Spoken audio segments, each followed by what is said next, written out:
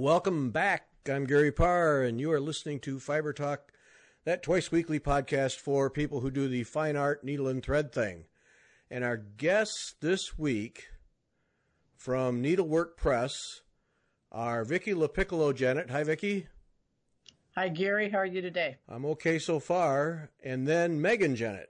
Hi, Maegan. Hello, Gary. There we go. Thanks for doing this. I've been, uh, we've been talking about doing this for a long time, but uh, I'm most curious because you guys have a rather unique business, and so anxious to learn about what you do. Sounds good. Thank and you. And yes, and this show sponsored by Sassy Jacks and Kim Young, Sassy Jacks. So we appreciate that.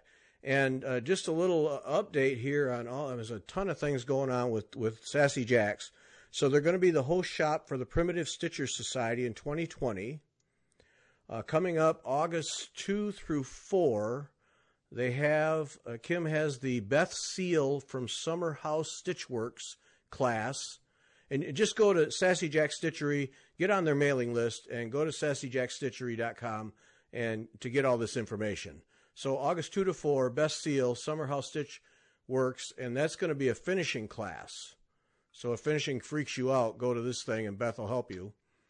And then Kim has coming up in September the uh, Soiree Stitch Retreat. And this is just a, a 60 bucks food and a place to stitch in that upstairs room. And there's no project. You bring your own stuff, bring your own whips, and uh, sit there and stitch with a bunch of your friends and have food and drink and it's a beautiful place. That room is just gorgeous with a lot of daylight, a lot of ceiling light, restrooms right there on the same floor, and down below, Sassy Jacks and the uh, quilt shop. So when you're tired of stitching, you go down and spend money. Is how that works. And then uh, reminding everybody who's going to do the Queen Sampler with Vonna and me that uh, Sassy Jacks has a kit so the threads and linen discount price is 150 bucks, and then uh, the Darlene O'Steen chart, which comes from Needlework Press, uh, 50 bucks, and Linda Vinson's stitch guide that comes from Linda Vinson, 26 bucks. So the whole kit 226, and by the time this is posted, Vonna and I will have at least started something, I'm sure. And then remember from uh, the Sampler Sunday that Vonna and I did that uh, all these samplers mentioned in the podcast for that show, uh, 15% for the full kits from uh, Sassy Jacks. So don't forget that. That's ongoing. And by the time this is posted, there will be a page at the Sassy Jacks site to help you order for those. I think there's 13 different samplers, three of them needlework press samplers, uh, that are offered with a 15% discount for the kits. So all of that going on at Sassy Jacks, and we appreciate Kim and the folks at Sassy Jacks making these things possible. Back to Vickie and Maegan. Okay, so you, you, we've got the we have the uh, the antique sampler part, reproduction sampler part, but then you do the uh, you print up you, the press part. You print books. You have some books. You have uh, uh little notebooks, all kinds of little things that go along with just samplers. And that's what, to me, that's what makes you guys fun. How does this all get started? And Vickie, I assume you've been a, a sampler addict forever. Actually, it all started with my parents, Gary. Um, as a child, they drugged my sister and I to antiques shows up and down the East Coast. Oh. Now, unfortunately, my sister and I spent our money on Barbie dolls instead of samplers in the 1960s. Um, but it we was did a thing. both It's okay. yeah, well, we still have the Barbie dolls. I haven't washed the clothes yet for Maegan's daughter, but we still got the Barbie dolls. Um, I think I washed the clothes. Did you wash them? I'm pretty sure. Maegan's the boss, in case anybody's wondering. Maegan's the boss.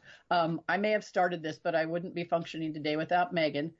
So as a child, I had an appreciation for samplers, and as I got older, inherited a few from my family and started noticing them at antique stores and picking up orphan samplers and giving them a home has been a passion for probably 30 years. And about 20 years ago, I got the idea hey, these could make wonderful products, not only the charts, but related printing materials, and Needlework Press was off and running. So, did your mother stitch, or was she more of a collector? Yes, both my mother and grandmother stitched. My grandmother cross stitch, my mother needlepoint. Unfortunately, I'm very allergic to wool, so at the time, most needlepoint fibers were wool. That went out the window, and cross stitch became my passion as a preteen, probably. And that, but but you also, having been to your house, you picked up on the uh, collector part too. You, you I'm have... a little bit of an addict or a hoarder there. Maegan's shaking her head. You can't see it, but she's shaking her head. If anyone gets a chance to go to Vickie's house, it is a treasure trove of old cool stuff. So, yeah. Maegan's house also. Actually, it kind of overflows into the annex at their house. Yeah, I don't have nearly as much though. But when I'm over there babysitting the kids or we're over there, I always notice fun things on her walls. So yeah, there's okay. plenty of plenty of cow samplers to go around. So you're running a storage business. Generous. So you're running a storage business then, Maegan, right? No, no. I I have good boundaries. Oh, okay. She's okay. very generous, and she she'll pick up things that she thinks that I would enjoy, and she's usually spot on. And so those are the things that are hanging at our house. Okay. There's a filter at the door. All right. so Maegan, how do you get into this? My I mean, you you not only got involved, but you became the boss. So how did that happen?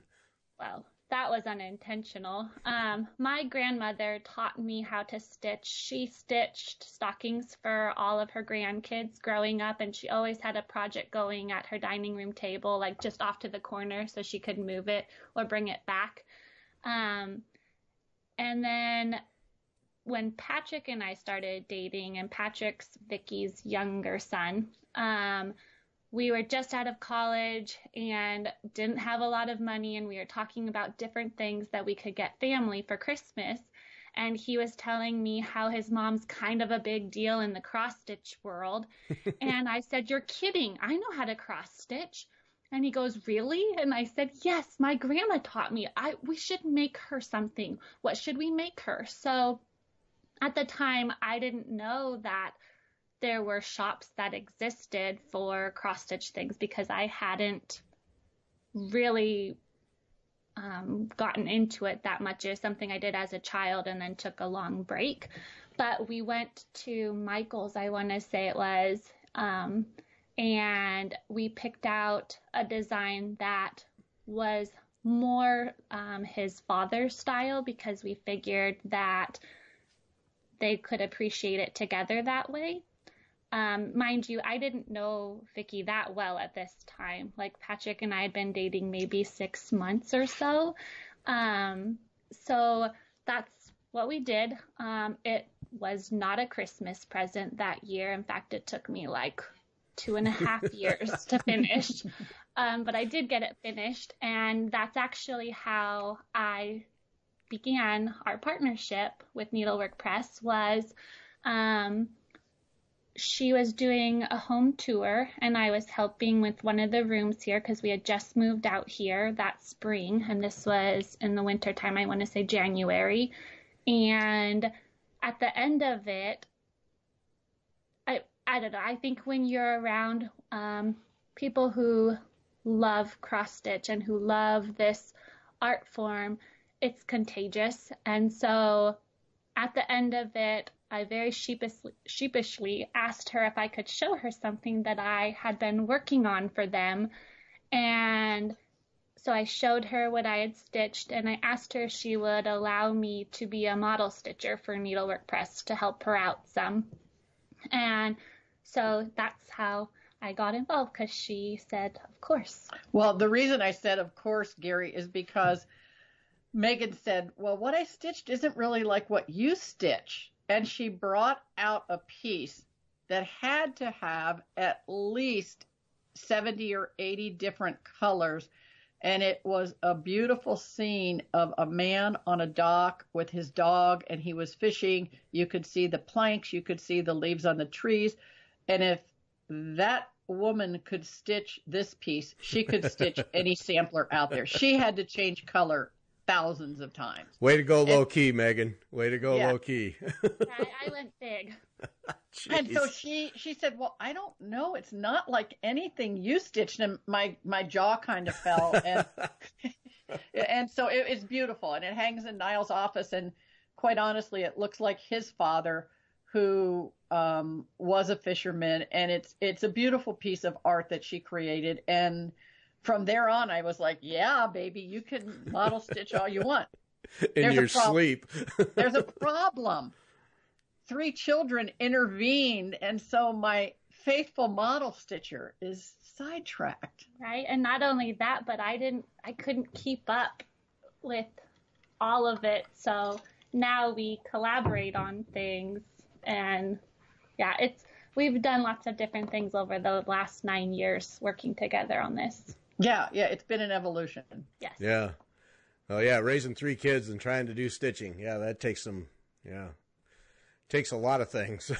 Organization, only one of them. Yeah. Jeez. Right. Maegan Yeah. just recently um, hem stitched our latest reproduction sampler. It's a small sampler, and I think maybe that's that's part of the direction we've gone as we get more products and more allied things um, to needlework. We are tackling less cumbersome projects, mainly because our lives don't allow. Right. Yeah.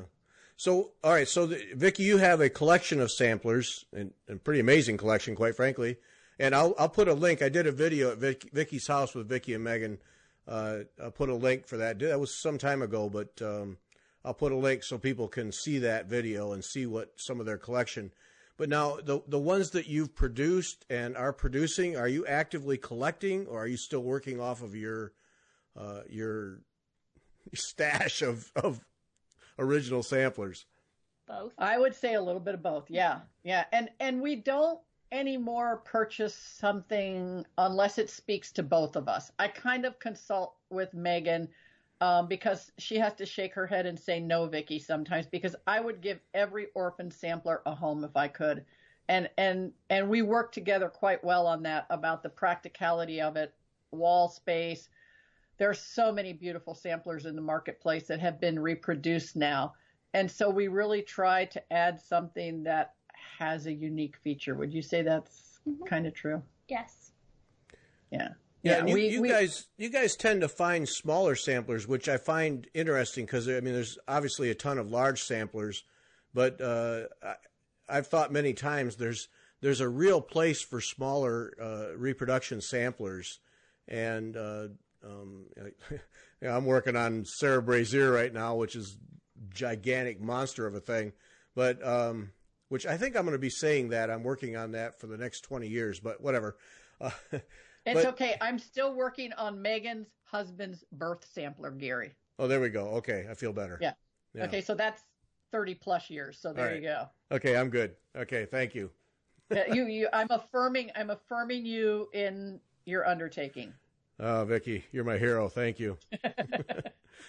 but but there is, I think there's a real place that maybe isn't as as and exploited is the wrong word, but uh, uh, needs to be uh, approached more for smaller samplers. Am I right, or am I just not connected with that end? You know, I'd say there's a good mix out there of both, but a lot of times there are two different purposes that I think people take on. If you want to do a big project, it's either for a special occasion or to fill a space on a wall or because something speaks to you. A lot of times we do the small samplers as a gift for a friend, you know, uh, a birthday ki- gift to commemorate something. Um, so yeah, there's a good mix of them, but but recently I think there have been more large than small samplers on the market. I mean, Yeah. think about yeah. Yeah, without it, without one- a doubt. Yeah, and that's I guess that's where where that that question and thought comes from is that we have no trouble finding medium and large size samplers everywhere, uh, and and the little ones I think you almost have to seek out. And uh, lately I've been thinking, boy, th- those because obviously stitch much stitch up much faster, but there's a place for those and and a, a counter to these large ones.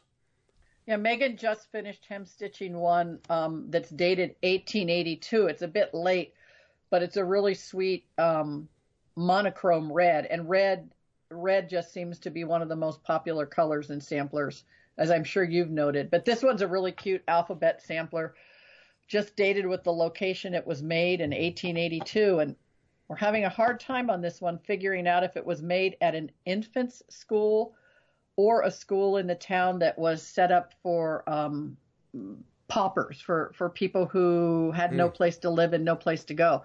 We'll probably never know because there's not a name on it, but we have the town and we have the date. And um, yeah, that one, it's red. Since it's red with a blue border um, and on ecru, we're going to get that out before the 4th of July. No. That history, boy, that history is so fun. There's something different with everyone. And I think that's part of the reason we both love samplers. Agreed. Yeah. Yeah. yeah. So uh, that, that's interesting. You, you said uh, what 1882 was kind of late. Where, where where do we draw? I mean, I, am sure it's a sloppy line, but where do we draw the line in terms of reproduction samplers? Uh, at, at what date is it like? All right, this is a little modern era. You know, I would say late Victorian. You know, late 1800s, early 1900s samplers stopped being a part of traditional education for the most part. Stitching took place, but certainly most of the samplers we like are 18th and 19th century. Mm-hmm. When you get into more contemporary ones, maybe they don't hold their charm because some of them were hanging in our houses and they were the things that went to garage sales and maybe because it's older. I you know, I can't tell you why, but when we talk about reproduction samplers, they pretty much ended in the 19th century. And, it, and it yeah, was 19th that it was that ending of using it as an educational tool that that. Correct. Yeah. Correct. Yeah, and and then as we get into the 1900s, there was a lot of beautiful stitching done. Um, it was just a different type of stitching. We started to get into some printed cross stitch, uh, more needlepoint. Um, and the cross stitch became more embroidery. More, yeah, maybe more embroidery than cross stitch. And our passion is definitely counted cross stitch. Yeah, yeah. The um, the stamped cross stitch, we don't see that really anymore at all, do we? Ironically, it's returning some really? among Maegan's age group. There is more stamped cross stitch coming out now. A lot of people are doing it in hoops and using the hoop as the frame. Um, I don't know whether it will become, you know, really popular or not, but it is. I think they see it as a DIY craft, perhaps more than um, they do a needle art. Hmm. In fact, I see a lot of it. If you look, if you look, and it's it's a lot of them are posted under embroidery as opposed to cross stitch. But okay. but I, I've just seen more in the last few years. Like on Instagram? On Instagram, on Facebook. Um, yeah, I've seen I've seen more of it than I have than I have since the 60s or 70s, to be honest. That's interesting because I thought that had just kind of faded into history. No, it's it it seems to be coming back some. There there are a few designers that design on a muslin type fam uh, fabric, and they're actually kind of nice. Hmm. So yeah. All right. I don't I don't think you'll see them in my hoop, but but um, yeah.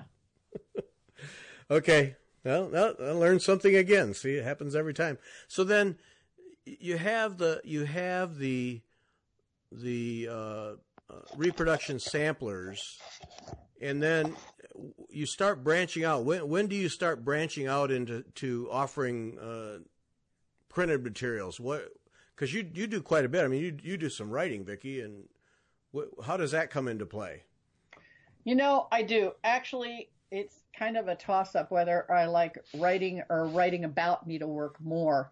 Um, when Maegan and I were really fortunate to collaborate on two books um, that were published by Kansas City Star Press, which is no more. And in those books, we were able to incorporate um, both writing projects, history, um, some beautiful art, some beautiful art in those books.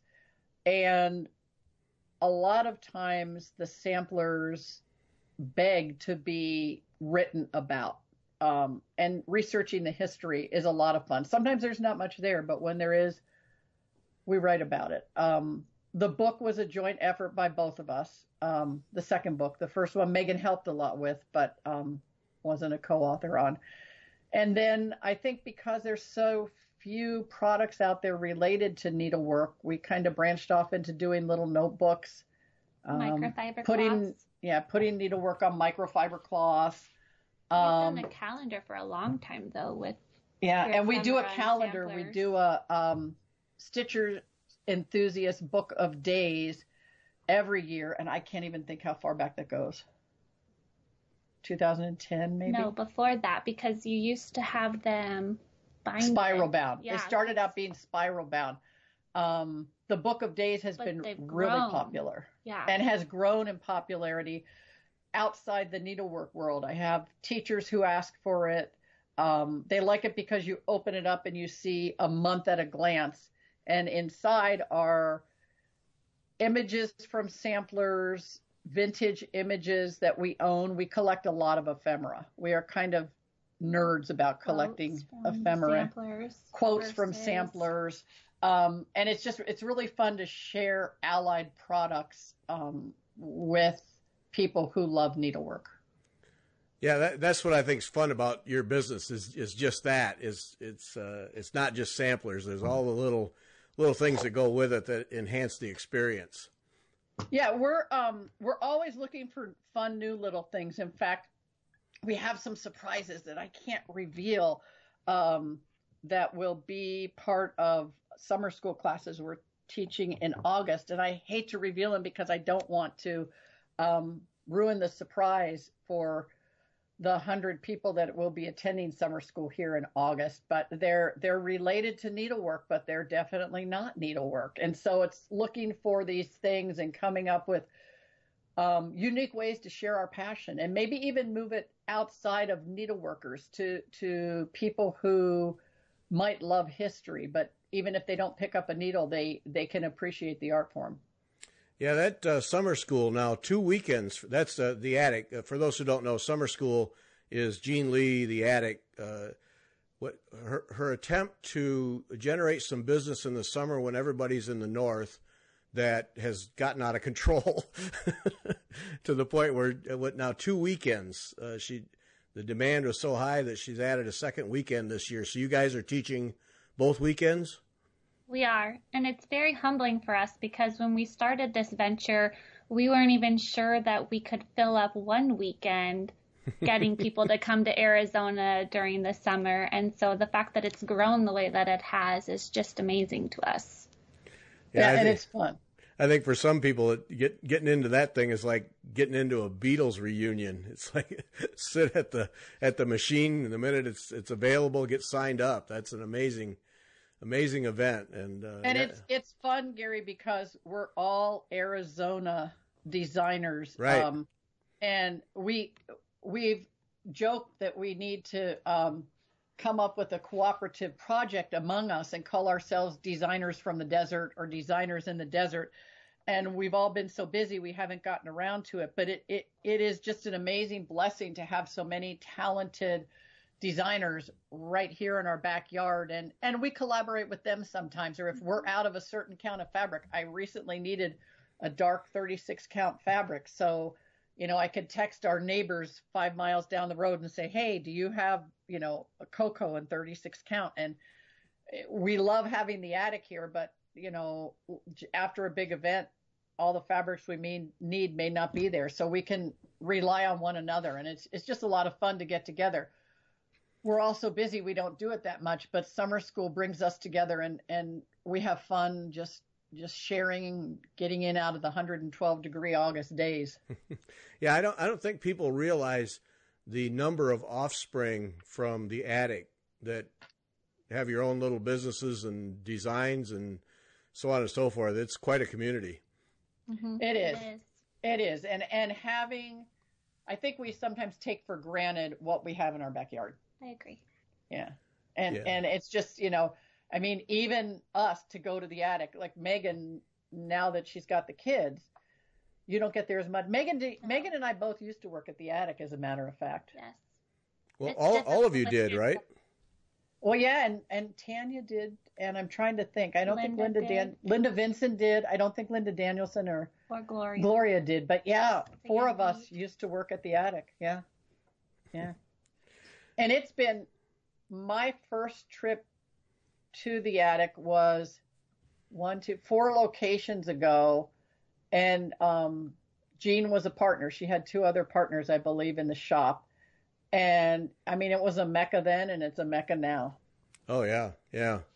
No, but that's it's the. Uh, I mean that shop and, and, and what it represents and what it does is is outstanding. But then if if you know a little bit about the history of of designers who have come off of that, it, it you really start to appreciate what Jean has has done through the years, just with her love of samplers primarily, and it's uh, it's pretty amazing stuff. And her encouragement of us when we get discouraged. well, yeah, Yeah. that's the you know that's the other part is yes, uh, encouragement all the way around from Jean. Uh, Yeah. yeah, she's something else. So Maegan, you're doing uh, solid cross stitch project as a gift, and then then you actually get to ease up on the on the pedal and do samplers where you don't have to cover every piece of of cloth. How how does your stitching evolve? Because uh, I mean, you, you, you're gonna you learned some cross stitch, you did a big project, and then you run into Vickie, and uh, you're doing samplers. Do you you fall in love with samplers? Is it an evolution? Do you still have other stitching interests outside of samplers? For me, it's mostly samplers. Um, besides, well, so I love the history, like Vickie touched on earlier, that comes with the samplers. I was unaware of any of that stuff. I only knew that there was solid stitching and dimensions kits and things like that from growing up because that's what my grandma did and that's what my cousin did. Um, so I think the history with those, and I love the charming aspects of samplers. Like Uh-huh. we we like a lot of folksy samplers with interesting people or um, motifs or alphabets even and so yeah i'm a sampler girl i don't think i would ever go back to solid stitching like it'd have to be something really really special to go back to that i wanted to get into embroidery I think it would be fun. I have a friend who borrowed some of my embroidery books a year ago, um, and she got into it. But and I sew some, but not as much as I would like to because I don't have space right now to have it set up, and it just seems like a chore to get sewing stuff set up and taken down so that it's safe for kids. Maegan has some real talent, Gary, in color. Her background is in um, theater design, Oh, and so she's got a great eye for color. Yeah, that my degree's in technical theater with an emphasis in lighting design.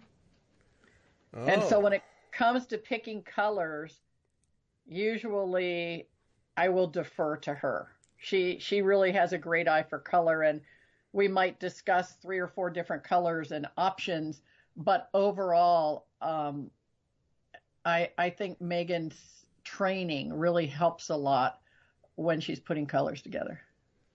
So that's a real plus then, the two of you together. You guys, when you talk about collaborating, you truly can collaborate on a, on a sampler uh, and, and cover all aspects of it. That's great. Yes, very much so. We work together. Yeah, and when I say Maegan's the boss, it's probably because she's a firstborn child and has no problem saying, you know, Vickie, no, I don't think that quite works. And she's usually right, darn it. Yeah, but I think it's also our relationship. I mean, because you're a firstborn also. So we just, we've always been honest with one another from the very beginning, and that's made it so that we can have a genuine and authentic relationship. So, Yeah, and when it comes to how to finish a piece, for example, our, our summer school project, we both love the sampler. I mean, we're in love with the sampler that inspired the project, and it has several elements. And um, part of it was stitched, and I was thinking, oh, a little pencil case, a little scissors case. And um, Maegan came up with a great idea. And at first, I kind of balked. I mean, honestly, yeah, yeah. yeah. And um, then I thought about it and I'm like, oh my gosh, it's perfect. So um, we we are able to collaborate in a way that I think makes you know one and one doesn't equal two. I think we're able to offer better products um, because of that collaboration. Yeah. Do you, uh, other than stitching the samplers for the business, do you guys get a chance to stitch just whatever you want? I make attempts. Yeah, okay. I, I don't Okay. finish a lot. I I try to do um, a stitching project every five years for our anniversary, and if it's any indication, I did great up to 25, and now I'm working on our 40th anniversary sampler, and we will be selling our celebrating our 43rd anniversary. There we and go. I I took on that tradition also, and I gave Patrick our five year anniversary sampler for our seventh anniversary, Mhm. and um we will be married ten in November, and I am probably a third of the way done with that. Yeah, Excellent. so so we we attempt to do it. The the You guys Uh, are right on part of it- schedule. I think you're perfect. we both um we both have day jobs neither of them full time but we both work at our churches as the communications person ironically. Um i've been doing that for almost 20 years and Maegan's Six. been doing it at her church for six years. So we do all of the website written bulletins publications that kind of thing. So we also have parallel day jobs um, in addition to needlework press And family life. and family life. Well, yeah, yeah. There is that. Yeah, we get together a lot. And our so- um and our husbands both support us in this. They're just kind of Yes, they cool. do. Mhm. They really do. They they enjoy it. They they don't balk when we bring home new samplers, or they don't balk at the mess on the dining room table, or the shipping boxes that are stacked on the porch. Um, so they're very they're very supportive and actually really interested in it too. Yeah. Well, just talking, Vickie, with your husband when I visited, uh, the history part, he, he is definitely oriented that way. So I can see why he would be supportive. Because, boy, he the history of Arizona, he opened my eyes. And, um, yeah, so he has that orientation anyway. I mean, we would love to find an Arizona sampler that was actually stitched here in the 1800s and territorial days. I, I'm not even sure that any exist. We've checked with all the museums in the state and they don't have any. Um, we do have a sampler that was stitched by the mother of the first mayor of Phoenix. She never came here, but her son, John Alsop, um, was the first mayor of Phoenix. And so it's kind of cool to have a sampler that commemorates his birth. Yeah. So, and ironically, the friend who found it has an antiques um, business both here and in New Hampshire. And so she found that for us. Oh, that's neat. Now that's you know the other thing that I enjoyed visiting you is all of the uh, things that you've collected, and you posted here just the other day a box full of scissors that you had. You really it, it's it's much more than the samplers. You really have a tremendous collection of of stitching and sewing accessories, notions, whatever we want to call them, from way back, and that's uh, to me that adds that extra dimension to what you guys do. Yeah, Maegan and I both love those too. Mhm. But Vickie is quite the treasure hunter. Like, it's very cool to be out with her because she will find things that I think most people would pass by and she'll just look real quickly because Vickie looks real quickly and she'll just hone in and find the neatest things. And I attribute that to my dad taking me to antique shows as a child. He, you know, they, they call people that, that search out antiques for, for dealers. They have their pickers that go around picking. And so maybe I'm, maybe I'm kind of a picker, but it, it is so much fun. And again, a lot of the things we collect, people might pass over. Um, one year for summer school, um, Maegan made felt hands. It was a little thimble holder, and they were two felt hands holding a little basket that you could put your thimble in. And um, just being able to recreate that and offer that to people today, just to slow down and appreciate some of these little things that were trinkets and treasures that we don't even think about today, but in the past meant a lot. Think about what a needle would have meant to someone traveling the country if they're going from the East Coast to the Midwest or the Midwest to the West to Utah or Colorado, if you lost that sewing needle, you may only have one or two. And if you go over a bump and you lose that sewing needle, there may not be any at the general store for months. And, you know, here we are, we can buzz over to the attic and, and buy our new John James Petites and it's not a problem. yeah, isn't that true? Yeah, you don't think about that. I mean, I I stitch with, you know, easily half a dozen or more needles on a needle minder for any project and don't even think a thing of it. But yeah, if you only had one or two and lost one in the dirt somewhere along the way, um, ouch.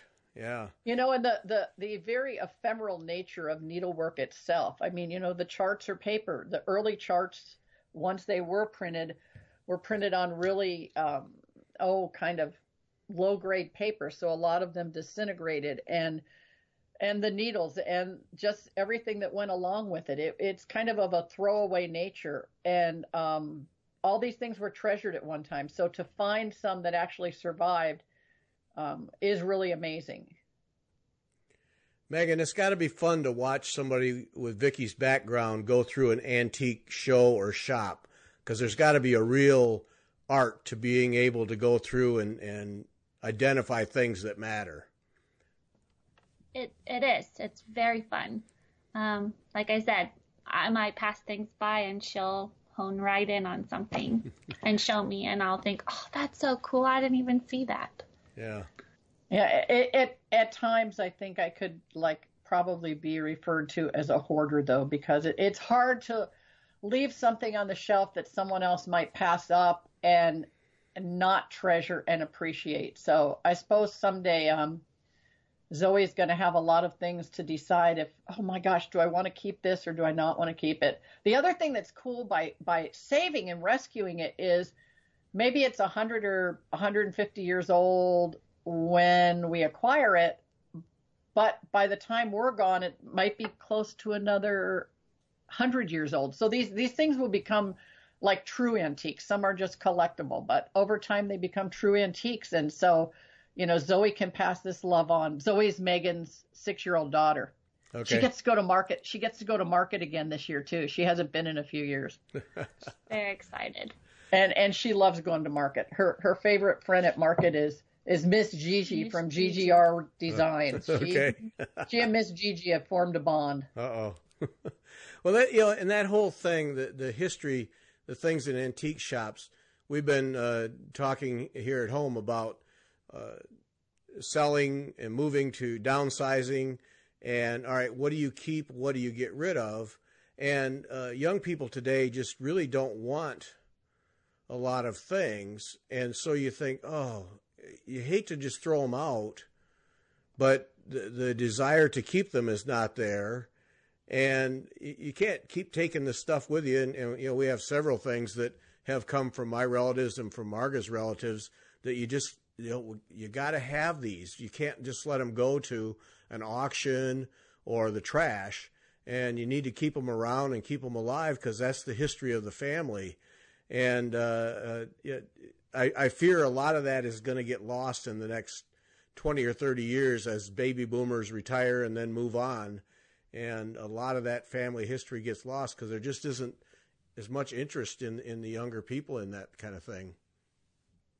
Yeah, and we are. We're kind of of stewards of those material items.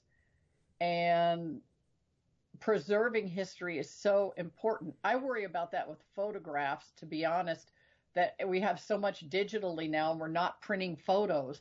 And I mean, there's nothing better than finding a really treasure photo from um, the 1800s, and and we're not we're going to kind of have all digital files. So I don't know. I don't know, Gary. You make a really a really good point. Yeah, and, and photos are, are probably at the very center of my thinking on this because we all have tons of them on our phones and we carry them, but there's nothing that keeps them long term because they never get printed. They get right. they get shared, they get emailed, texted, whatever it is. But yeah, they don't get printed, so there's no box of them that says this is family history. And right. uh, yeah, we we had uh, um, uh, my wife's the family farm. Her uh, her uncle uh, farmed the family farm, and and recently uh, her cousins have been cleaning that out, and that's what they found is the boxes and boxes of family history, and uh, two of them that came out of it were when the farm was in its in its heyday, and all the buildings were there, and the hay wagons and the horses, and the house looked like a mansion and and those pictures now we've restored a couple of them and just about everybody in the family has printed them because that's the history and people had forgotten that the farm actually had a name and wow. it was it was on the barn but you know over the years the letters had fallen off and and and all of that was and, and now in these two pictures with the people and of course uh, Marga and the and the cousins remember who the people are uh, that's the history. And, and with the electronic stuff, uh, yeah, I'm with you. I fear it's just going to just disappear and, and, but not to be found. And like everything else, it's a blessing and a curse because electronics have allowed us to learn so much about history to be able to connect. You know, before you had to write a letter to a museum and wait for it to get there and then yeah. hope it gets to the right person. Now we can email and get an answer from a museum. It, it so it's a blessing and a curse. And I'm, you know, I'm thinking about that too. Is what photos do we want to leave? In what format do we want to leave them? Um, and and the same with the needlework and our charts. I mean, one of the things we do, both Maegan and I, is we collect charts. We may never stitch something, but wow, there are some phenomenal charts that we have that we consider to be treasures, just like a well, book. To be art. When I worked at the attic, I would tell people that I'm like, it's okay to collect pieces like charts that you're not going to stitch in this lifetime because this is truly a piece of art. The designer not only reproduced this or designed it if it's not a reproduction and it's original design, but they've taken the time to put together that chart and it truly is a piece of art. Like I have the Prairie Schooler alphabets, all of them, and I don't anticipate ever stitching those, but I think that they are so clever and I just love them, and so I have them. You, you yeah. just made a whole lot of people more comfortable with these stacks and stacks of charts that they own. Well done. Well, Good. Well, they should feel comfortable about that because it's like anything. You might not be able to put it up on your wall, but I guarantee if you pull out those charts and you look through them and you take the time to like really take it in, not just thumbing to find your next pro- your next project, but you look at them. I bet every person falls back in love with that design because it it really is art. Yes. And sometimes it takes you back to when you bought it. Oh my gosh, I remember I bought that when my mom was sick and in the hospital, and I remember it made me feel so good because things were just looking down and it was just like oh my gosh. And so so the the charts can kind of serve like an old photograph and mm-hmm. and take you back. Yep. Okay i feel better. My stack downstairs just got new value. Thank you. So so have you guys decided what you're going to do with your things when you downsize or is it still in discussion? With my needlework stuff? Your the family things. Oh no, I don't know. That's a real. That's a yeah. I don't know. That's uh, Marga has boxed up boxed up some things that uh, you know have just been sitting in a cabinet that she has never had out, and those are easy. But uh, I think now we're down to the things that aren't easy, and uh, yeah, I don't know. I don't know. Uh, I just hate to see that stuff go away. The um, when my aunt uh, moved out of her house to a nursing home, and we had to clean out the house. And and uh, uh, the family member from uh, my uncle's side, who was in charge of the estate, was intent on uh, making sure that the stuff got preserved or whatever, and he, and he wanted it to go to auction and sold. And there were several things that Marga wanted because uh, my aunt was a real collector of uh, tea sets and there were several things that she wanted, but he wouldn't let go because he was in charge of getting the estate to an auction to be sold. And then we learned later that all of those things ended up at the auction and nobody wanted them. Oh my God. You know, and it was, you know, give me two bucks and you can have this wagon load of stuff. And wow. it all, so it all just went to waste. And we comment every now and then about how that history and those beautiful pieces. And my aunt was one, she didn't buy cheap stuff. And so those beautiful, expensive pieces basically just went to trash.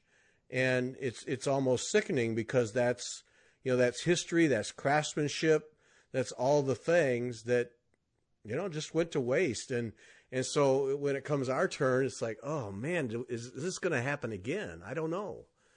And, you know, we see the same thing with samplers sometimes. Yes. We can go through our old samplers and look at some that were put in a basement, and you can actually see the watermark on the sampler where there had been a flood in the basement or they had gotten damp from the bottom up, and maybe there's a two or three inch area with a margin, and you can see the watermarks um, where the damage occurred because something was put in a damp or wet basement Likewise, some things that were put in the attic got bugs and dried out and they have dry rot.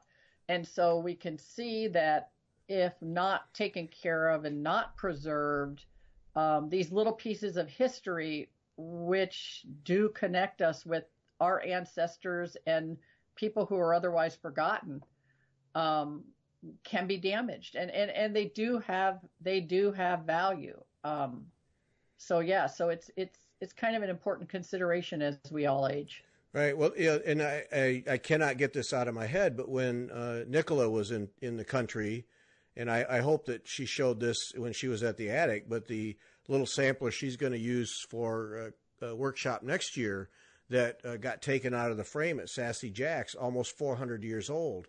And I just can't get it out of my mind because you look at that and it, a piece of cloth, a stitched piece of cloth but then if you if you take a moment, you realize that thing has been around for 400 years.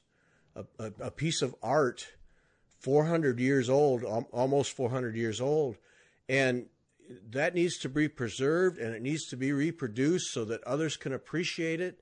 And um, yeah, and we, we, need to keep those things around. And I realize at some point we only have so much room in our houses, but uh, to let that stuff go, it just it's almost painful. It is. It is. And I have, I mean, we have things upstairs. I, my mom kept some of our baby clothes and I can't decide, oh my gosh, what do I do with this? And they've got beautiful buttons and they have embroidery and they, in fact, Maegan put Zoe in one of the dresses that was mine and it, it rapidly, as soon as she crawled in it, the, the chiffon kind of disintegrated, but at least we have a picture of Zoe in a dress that was mine. Yeah. And so I think, oh, and a bathrobe anything we can do to preserve and enhance an appreciation for this, I think is great. Um, here in town, we have some questers groups um, in Sun Lakes, who and the questers do a wonderful job of, of preserving an appreciation for history. And I think, you know, promoting it by going and doing talks at elementary schools. Um, recently a, a, friend from high school in Seattle started, I just learned, started an antique shop. It opened last week. And she said, Vickie, the first time I ever knew what an antique was was in high school when I came to your house for a party and your parents cooked dinner for all of us at the prom and your parents explained what was an antique. And here she is all these years later opening an antique shop in Seattle. uh-huh. Yeah. So, so I, it, it never hurts to talk to people. Um, Niles, when you met Niles, he may have told you he's a dairy vet. He has a lot of meetings here, and his office is full of antique dairy items. And when people come in his office, they're they're just in awe, and they had no idea that people collect um, these old items from the past that people would have thrown away on the farm. And so that's what we do with needle and thread, and we love it. Yeah. Would you guys consider your business to be a business of education a business of re, uh, uh, you know restoration? What how how would if if you had to put one word on it, what would that be? I would say education or appreciation. I was going to say appreciation, so she took okay. the word out of my mouth. okay. It it it definitely is not um, a business that's lucrative in terms of um, money. That's not what that's not what it's about. We, you know, of course we like to cover our costs and be able to um, buy supplies and replenish our old samplers, but it is definitely um, enhancing people's appreciation of of the history and the art form. Well, and you have to do the ones that speak to you also. Like we don't choose samplers based on what we think other people are going to love. We choose ones that we love because of the amount of time you spend working on it, not just charting it, but stitching it and then putting together the charts and studying it. And if you can find the history, trying to get to know that, the amount of time that you spend with, with a sampler you have to reproduce things and share those things with people because you think that it's something special and worth sharing. Yeah, yeah. And, and isn't that so true? Because, and that's where the art part comes in. Because how many musicians, composers, writers, painters have been asked, you know, are you, do you create so that it will sell or do you create for you? And usually the ones that are most successful are the ones that create for themselves because it speaks to them. It's what they feel in terms of a song or a poem or something. And then if others like it, fine. But that's where the real, to me, the real art is, is that uh, as an artist or, uh, or people like you who reproduce, it, yeah, it speaks to me. It has meaning to me. Therefore, I put everything into it. And then if others like it, fine. If not, fine too. Yeah. Yeah, we we do. We we like to listen to people's suggestions. They'll say, "Oh, you know, we wish you would reproduce this one if they see something we have," um, or "Oh, we really like that," and we try to listen as best we can. But there are really, truly only so many hours in the day, um, and it's not something that you can mass produce. It takes time the time to study, the time to chart, the time to pick colors, the time to stitch, to get framed. So it's it's not something um, that you can rush. And Maegan and I, and we have um, one local gal who does some stitching for us, but we we pretty much um, do everything between the two of us and um, one other person who does the model stitching. So we're fairly limited in how much we can produce. One thing that I did not know you did, and in doing research for this, was uh, you're involved with cruises. What what uh, describe that? What is that all about? You know, that is um, just a fortuitous opportunity that came our way. Um, our friend Maureen Appleton um, of the Heart's Content went on a couple of cruises with Stitchers Escapes Cruises, and she talked to us and told us how much fun it was and how wonderful. And then lo and behold, um, we were invited to create a project and go on a British Isles cruise in 2020. And the opportunity was wonderful. And we said yes. The hard thing was deciding would I go? Would Maegan and I go? Would Niles and I go? it, anyhow, uh, as it turned out, and maybe I have my three grandchildren to thank for this. Niles and I are going to go. Um, and we loved it because there were some ports that we had never been to. And the wonderful thing about it is that the rooms where stitching takes place um, have lots of windows and lots of natural light. And it'll be perfect for um, some projects we have based on a, a British sampler. Mm. So yeah, this will be it'll be a first experience. Although we did all cruise as a family, all eleven of us for our 40th wedding anniversary went to Alaska. So. Ooh, um, the, the one and only place in the world I'd do a cruise, Alaska. Yeah. It was amazing. You should do it. Yeah, you should. No, don't even think about it. Don't pass go. Take advantage of one of the um, this summer. Just take advantage if a cruise isn't full. You and your wife go on it and just do it. It Alaska's incredible. Okay. Yeah. My right. six year old still talks about it, and it was two years ago, right? Yeah, yeah. That we went. Yeah. So she was four, and she still talks about it. And it made it. It made an impression on her. Wow. Very much so. Yes. Uh, and it was our second cruise to Alaska, and it, it, it is just a phenomenal experience. Um, and we did take stitching along on that cruise, and I don't think we did much stitching, did we? No. Yeah. I don't we both carried. Any. We don't go. Neither of us go anywhere without stitching. Um, maybe Maegan doesn't carry it as much anymore now that she has the diaper bag full. it depends. Like I went to Washington with the three kids by myself for spring break. I did not take any then because I knew I would not have any time to yeah. do it. But if Patrick's along, then I'll usually bring something because I think, oh, maybe I'll get in a little bit of time here or there.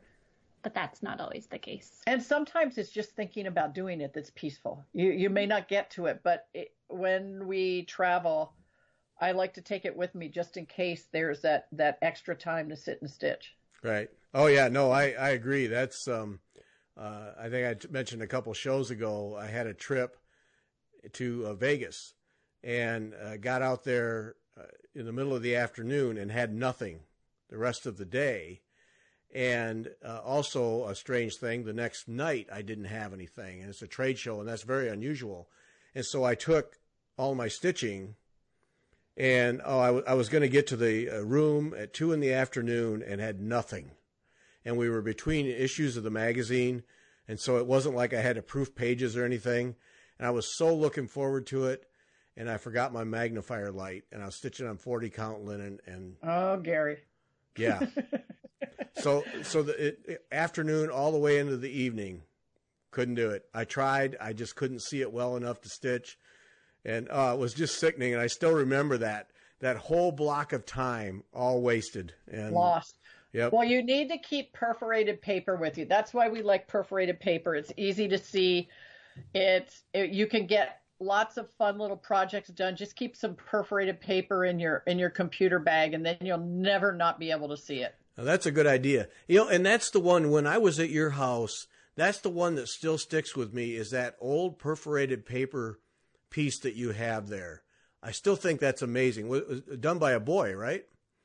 There was one of the yes, one of the perforated paper pieces was done by a boy, and we're working with a friend of Maegan's now to create a smaller count perforated paper. What's out there is 14 count, and we are just Ooh. really hoping, and we're Ooh. we're close. We're close. We have the second prototype. I just haven't gotten around to stitching on it, um, and so we're really excited about that. Ooh, that interests me a lot because the 14 count, eh, yeah, take it or leave it, but. Ooh, no, what? the little and I I stitched on the first one um, right now, you have to use a beading needle because the holes are, are quite small. But um, yeah, in fact, I got a message the other day. He's like, Vickie, Vickie, what have you done? And I, I haven't. So I need to, to pull that out and stitch on it. So is this going to be effectively 18, 20 count, something like that? It's close to 20. Okay. It's close to 20. Um, it's small enough that you need to use a beading needle and um, Tudor silk. Oh my. Yeah. So it's it's that small and it it covers really nicely. So um Oh, that sounds like fun. It's in the works. I hopefully by Nashville this year. We'll we'll have some of that. So Ooh, yeah. that sounds like fun. All right. And you mentioned you mentioned the Queen sampler um, that you're yes. you guys are leading the stitch along. We are just really really fortunate um, to have um, purchased the copyright on Darlene O'Steen's amazing collection of needlework. Amazing. Um, oh, so you have the, just, her entire collection? We do, with the exception of her book, The Proper Stitch. We have got, we have everything. Um, we need to, we want to get a website up, Needle's Prayse. We bought the domain name.